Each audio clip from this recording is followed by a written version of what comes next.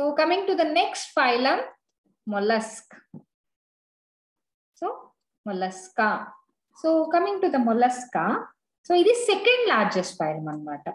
So అన్నిటికంటే first largest phylum కూడా. ఇది సెకండ్ లార్జెస్ట్ అండ్ ఇవి ఓషన్స్ రివర్స్ సో మనకి అక్వాటిక్ మీకు అక్వాటిక్లో కూడా మెరైన్ ఇంకా fresh water so as usual మనకి టెరెస్ట్రియల్ కూడా ఉంటుంది.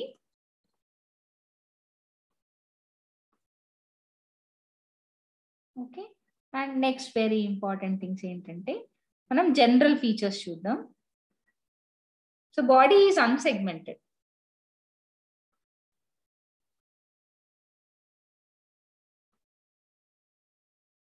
so కానీ బాడీలో కొన్ని పార్ట్స్ ఉంటాయి. మీకు ఆర్థ్రోపోడ్ అనగానే మీరు ఏం గుర్తుపెట్టుకుంటారు? హెడ్ థొరాక్స్ అబ్డామన్ ఇవి గుర్తుపెట్టుకుంటారు. అలానే యాంటెన్నే మాండబుల్ మౌత్ పార్ట్స్ ఇవన్నీ ఉంటాయి. అలానే మీకు మొలస్కా అనగానే సో మీరు గుర్తుపెట్టుకోవాల్సిన పార్ట్స్ వచ్చి head visceral hump muscular foot ఇంకా కొన్ని పార్ట్స్ ఉన్నాయి. అవి రాడ్యులా మ్యాంటిల్ ఓకే సో ఇవి గుర్తుపెట్టుకోవాల్సినవి. యాక్చువల్గా ఏంటంటే ద నేమ్ మొల్లస్కా అంటే ఏంటంటే సాఫ్ట్ బాడీడ్ యానిమల్స్ అని. సో యాక్చువల్గా ఈ విజరల్ హంప్ పైన మనకు ఉండేదే మ్యాంటిల్ సో విజరల్ హంప్ పైన ఉంటుంది ఈ మ్యాంటిల్ ఇది యాక్చువల్గా సెల్ని సెక్రీట్ చేస్తుంది అనమాట మనకి మెయిన్గా కాల్షియం కార్బొనేట్ షెల్ని సిఎస్ఈఓ షెల్ని ప్రొడ్యూస్ చేసేది ఈ మ్యాంటలే అండ్ శీలం అయితే మనకి హీమోసీల్ అనమాట ఇది ఎందుకు ఎందుకు హీమోసీల్ అంటే యాక్చువల్గా దీని circulatory system open circulatory system మనకి ఆర్థ్రోపోడా మొలస్కా ఎకైనోడర్మేటా మూడు కూడా open circulatory system so blood అనేది డైరెక్ట్గా శీలంలోనే ఫ్లో అవుతుంది కాబట్టి so it is haemocoel and first ఇప్పుడు మనం చూసేది digestive system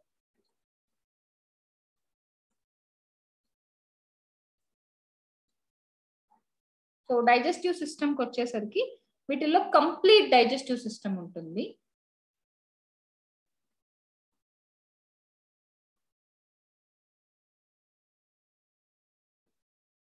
so complete digestive system ఉంటుంది దీంట్లో. సో మౌత్ ఏనస్ సపరేట్గా మౌత్ ఏనస్ సపరేట్ అండ్ ఇవి యాక్చువల్గా ప్రొటోస్టోమియల్ సో మనకి ప్రొటోస్టోమియల్ డుటోస్టో డుటిరోస్టోమియల్ అని రెండు ఉంటాయి. యాక్చువల్గా ప్రొటోస్టోమియల్ అంటే ఏంటంటే మౌత్ ఫస్ట్ ఫామ్ అవుద్ది. ఏనస్ తర్వాత ఫామ్ అవుద్ది. డిటిరోస్టోమ్స్లో ఏంటంటే ఏనస్ ఫస్ట్ ఫామ్ అవుద్ది మౌత్ తర్వాత ఫామ్ అవుతుంది. మీకు ప్రొటోస్టోమియం లో అనలిడా ఆర్థ్రోపోడా మొలస్కా వస్తాయి.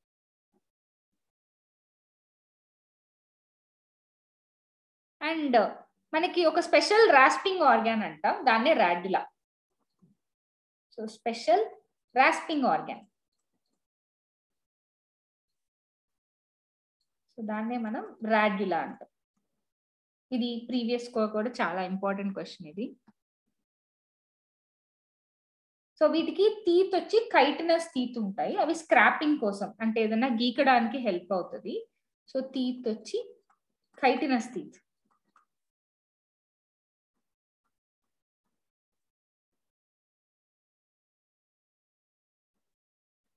అండ్ నెక్స్ట్ ఇంకా మనకి coming to circulatory system.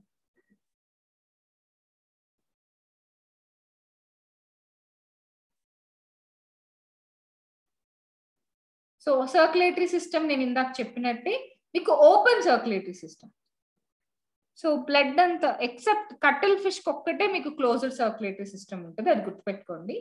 కట్టల్ fish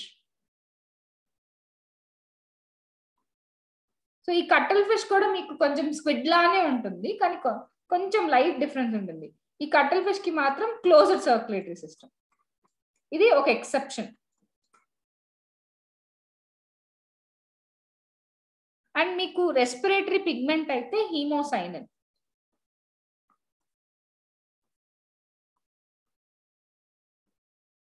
so కాబట్టి దానికి బ్లడ్ బ్లూ కలర్లో ఉంటుంది.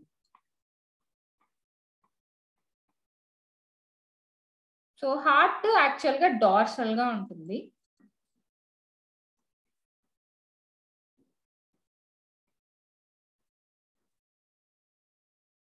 సో యూజువల్గా వైస్ వర్ష అంటే మనకి హార్ట్ వెంట్రల్గా ఉంటుంది.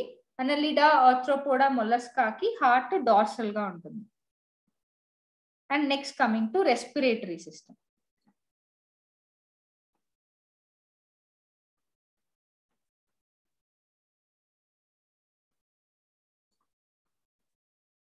so coming to the respiratory సిస్టమ్కి వస్తే మనకి కొన్నిట్లో ఏంటంటే స్కిన్ అన్నమాట. సో స్కిన్ రెస్పిరేటరీ ఆర్గాన్గా యాక్ట్ చేస్తుంది. సో ఫర్ ఎగ్జాంపుల్ లైక్ సీనియా సో వీటిల్లో స్కిన్నే రెస్పిరేటరీ ఆర్గాన్ uh, గా యాక్ట్ చేస్తుంది. డైరెక్ట్గా ఆక్సిజన్ అనేది స్కిన్నే తీసుకుంటుంది. మీకు ఈవెన్ ఎర్త్ వామ్లో కూడా అంతే. Skin itself will acts as respiratory organ and next ctenidium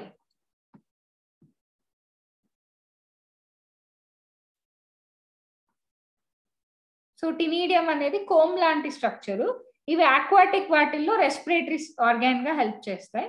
next కొన్నిట్లో పల్మనరీ సాక్స్ ఉంటాయి. టెరెస్ట్రియల్ ఫార్మ్స్లో పల్మనరీ సాక్స్ ఉంటాయి. అండ్ నెక్స్ట్ నర్వస్ సిస్టమ్ అయితే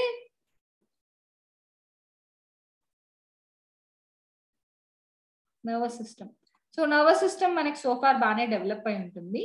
నాట్ వెరీ బిగ్ అంత బిగ్ కాదు. ఇంకా గ్యాంగ్లియాన్స్ ఉంటాయి. Cerebral ganglion pleural ganglion pedal ganglion visceral ganglion ఇలా సపరేట్ గ్యాంగ్లియాన్స్ ఉంటాయి మనకి.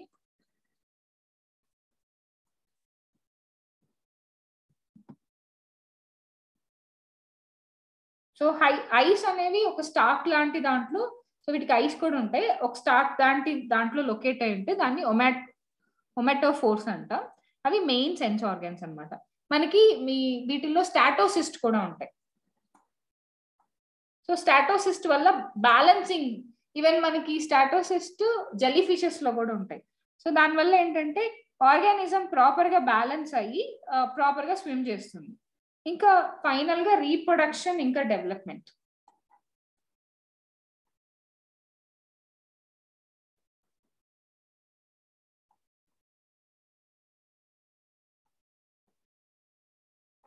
So when it comes to reproduction and ఇంకా డెవలప్మెంట్కి వస్తే ఈ యానిమల్స్ మోస్ట్లీ యూనిసెక్షువల్ సో ఇంకా కొన్ని సెఫలోపోర్ట్స్ గ్యాస్ట్రోపోర్ట్స్ ఇవైతే హెర్మోఫ్రోడైట్స్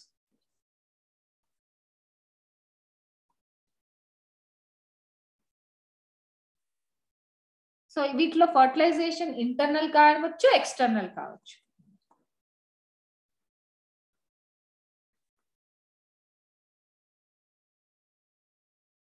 డెవలప్మెంట్ వచ్చి ఇండైరెక్ట్ వీటిలో లార్వా ఉంటుంది.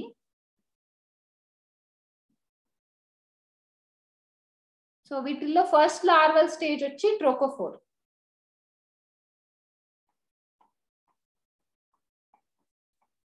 Trochophore. And second larval stage వచ్చి వెలిగర్.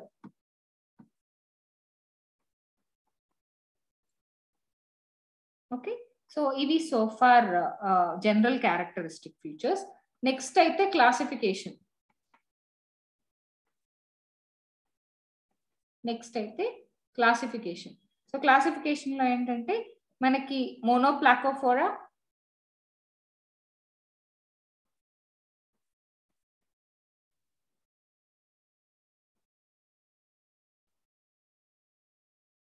Amphineura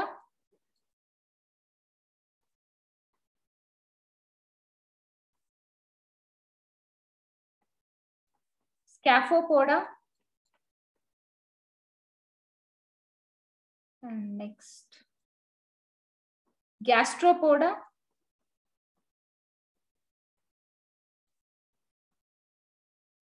Pelicypoda. Cephalopoda.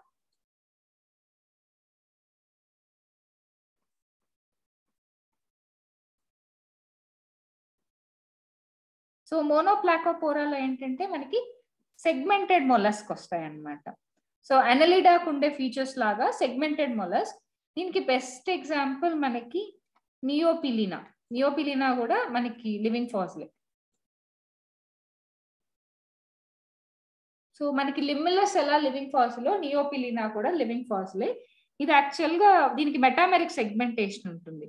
ఏ ఇంకా వేరే మొలస్క్లో మీరు ఎక్కడ ఇట్లాంటి మెటామెరిక్ సెగ్మెంటేషన్ చూడలేరు. ఇది వెస్ట్రన్ కోస్ట్ ఆఫ్ మెక్సికోలో డిస్కవర్ చేశారు దీన్ని. ఇది యాక్చువల్గా అనలిడాతో రిలేటెడ్. సో కానీ ఎయిట్ పేర్స్ ఆఫ్ మజిల్స్ ఉంటుంది. Five to six pairs of gills ఉంటుంది. ఫైవ్ పేర్స్ ఆఫ్ నెఫ్రీడియా ఉంటుంది. సిమిలర్ అనలిట్స్ లానే ఉంటాయి. కానీ ఇది యాక్చువల్గా ఏంటంటే చాలా ఓల్డెస్ట్ మొలస్క్ అనమాట కాబట్టి దీన్ని లివింగ్ ఫాజిల్ సో ఇది ఏంటంటే అనలిడానే కానీ యాన్సిస్టర్స్ ఆఫ్ మొలస్కా సో దీనివల్ల ఏంటంటే అనలిడా అనేది మొలస్కాకి ఒక యాన్సిస్టర్ లాగా మనం చూడొచ్చు. సో నెక్స్ట్ యాంఫీన్యూరా యాంఫీన్యూరా అంటే కైటన్ యాంఫీన్యూరాలో మనకి కైటన్ వస్తుంది. ఇది యాక్చువల్గా మౌత్ చుట్టూ ఏంటంటే నాన్ గ్లా నాన్ గ్యాంగ్లియనేటెడ్ నర్వ్ రింగ్ ఉంటుంది ఇంట్లో సో స్కాఫో పోడా స్కాఫో అంటే బోట్ పోడా అంటే ఫుట్ సో మనకి ఇది బోట్ షేప్లో ఉంటుంది. ఫూట్ దీనికి బోట్ షేప్లో ఉంటుంది.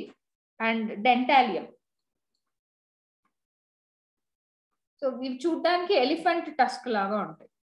Next Gastropoda. సో గ్యాస్ట్రోపోడాకి వస్తే మనకి హెలిక్స్ అంటే స్నేల్ పైలా అంటే apple snail and next Turbinella. So ఇవన్నీ కూడా గ్యాస్ట్రోపోర్ట్స్ కిందకి వస్తాయి అంటే స్టమక్ ఫుడ్కి దగ్గరగా ఉంటుందని ఆ పేరు పెట్టారు గ్యాస్ట్రోపోర్ట్స్. అండ్ పెలికాయ పోడ సో పెలికాయ పోడ అంటే మనకి టూ లేటరల్ షెల్స్ ఉంటాయి. పింక్ టాడా ఇంకా యూనో యూనియో. సో ఇవి పెలికాయ పోడ కిందకి వస్తాయి నెక్స్ట్ సెఫలోపోడా. సెఫలోపోడా అంటే మీకు హెడ్ దగ్గర ఫుట్ ఉంది అని అర్థం. సో ఫర్ ఎగ్జాంపుల్ మీకు నౌటిలస్ సెపియా సో నౌటిలస్లో మీకు షెల్ బయటకు కనిపిస్తుంది ఎక్స్టర్నల్గా సెపియాలో ఏంటంటే షెల్ ఇంటర్నల్గా ఉంటుంది. సో లేదా అసలు షెల్లే లేనిదైతే octopus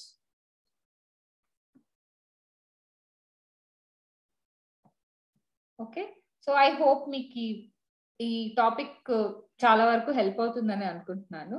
సో ఇవైతే జనరల్ ఫీచర్స్ అండ్ నీట్ బేసిస్లోనే మీకు టాపిక్ అంతా ఉంది కాబట్టి. So I hope you got a very good information regarding this మీకు ఈ ఇన్ఫర్మేషన్ కానీ హెల్ప్ అయితే మర్చిపోకుండా నాకు కమెంట్ చేయండి. Thank you